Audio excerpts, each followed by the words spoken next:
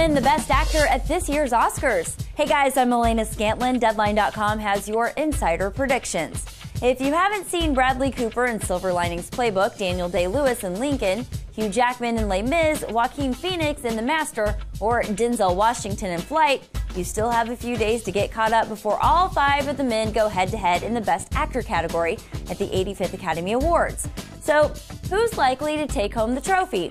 While Washington, Jackman, and Phoenix give strong performances in their respective roles, we predict the race is a tight one between Bradley Cooper and Daniel Day Lewis. Day Lewis has been dominating award season and is the favored one to win the Biggie Oscar this year.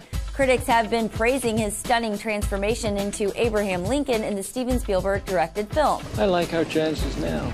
But if anyone was going to swoop in and steal that gold from Day Lewis, it could be Cooper, who showcases both dramatic and comedic chops as the volatile Pat Jr. in the indie hit Silver Linings Playbook. Come on, Dad! What are you, what are you so up about?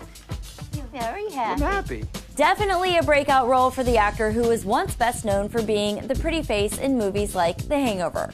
Cheers. Cheers. Mm-hmm. Short and sweet. Of course, the Academy could go with Hugh Jackman for his performance in Les Mis. The beloved actor sang his heart out as Jean Valjean in the highly anticipated movie musical. The fact that he had to sing all his parts live and with a two and a half octave range only helps his case. Gave me hope when hope was gone. He gave me strength to journey on.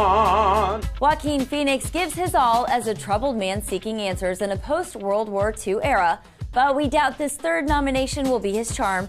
One might be surprised he got nominated at all, given the anti Oscar sentiments he expressed in a recent interview with Interview Magazine. You make this up. you just, I know you're trying to calm me down, but just say something that's true. And finally, Denzel Washington rounds out the pack with his role in Flight, playing an alcoholic pilot who must face his demons after crash landing a plane under the influence.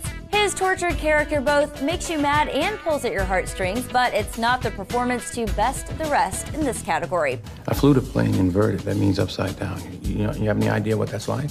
I do. I uh, heard the black box recordings last night. Oh, you heard? Saw you a pilot?